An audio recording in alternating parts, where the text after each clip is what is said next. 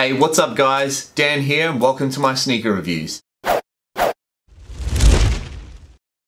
Today I'm going to be doing a review of the Nike Air Icarus OG 2016 retro release.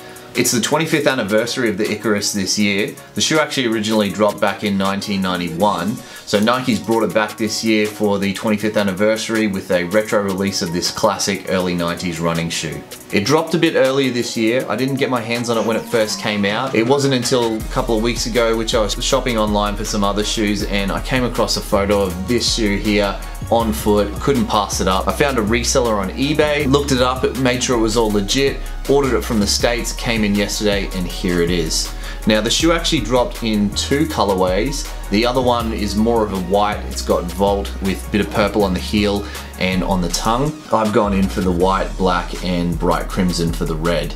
As far as materials go, we've got soft suede on the white upper. The black section is like a stretchy neoprene. On the insole, it's a soft kind of cotton and it's white. That is gonna get pretty dirty pretty quickly, especially with this soft suede. So make sure you are using a sneaker protector. Some cool features of the shoe. The shoe doesn't have an air bubble, obviously. If you look on the, uh, the outer heel there, it's got air imprinted into the outer heel. Also on bottom sole, it's got the Nike Air symbol with two more pieces of the bright crimson red. I really like the swoosh on this shoe. It's really long, ties all the way into the heel of the shoe back here, a lot longer than say an, an Air Max 90 or an Air Max 1.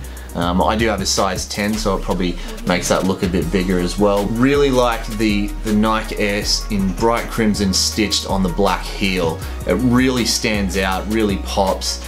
That stitching is very vibrant. Also on the tongue of the shoe as well. For the overall design guys very simplistic looking shoe. It's a very clean colorway. It has a really early 90s feel to it. I absolutely love this shoe. You don't even have to know about the original Icarus to know that this is an early 90s shoe. You just take one look at it and it looks retro. Just the design on it has that feel. I grew up in the early 90s so anything from that era is really nostalgic for me so it's something I really wanted to get my hands on. One thing that does give it that feel is the fact that they use the bright crimson as the red as opposed to the infrared or more of the gym red which could be a little bit deeper. The bright crimson's a bit more electric. Electric kind of fluorescent colors is really something that was used a lot in the early 90s. If you've ever watched any early 90s uh, kids shows, any cartoons, you will remember the fluoro squiggles and graphics which they used to draw all over which would be usually on the intros of TV shows. That's something that, that this kind of reminds me of.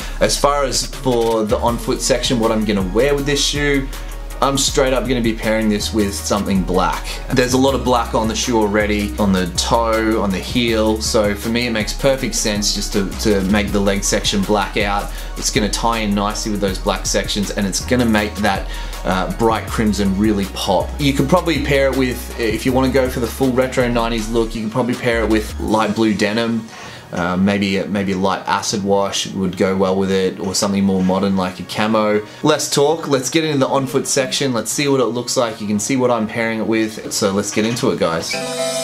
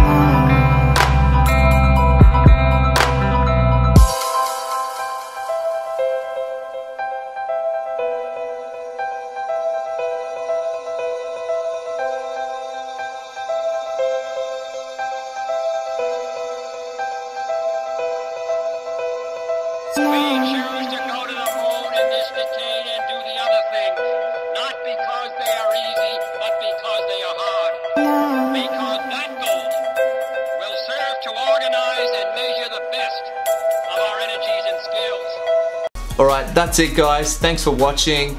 Tell me what you think about the Icarus. Leave a comment. Are you feeling it? Are you not? If you like the video and you want to see more of my sneaker reviews, hit subscribe, hit like on this video. You can find me on Instagram at Danny underscore Fox. Follow my lifestyle blog at The High Life Co. Plenty more great content coming out on our website, www.thehighlifecollective.com. That's it from me. I'll see you guys next time.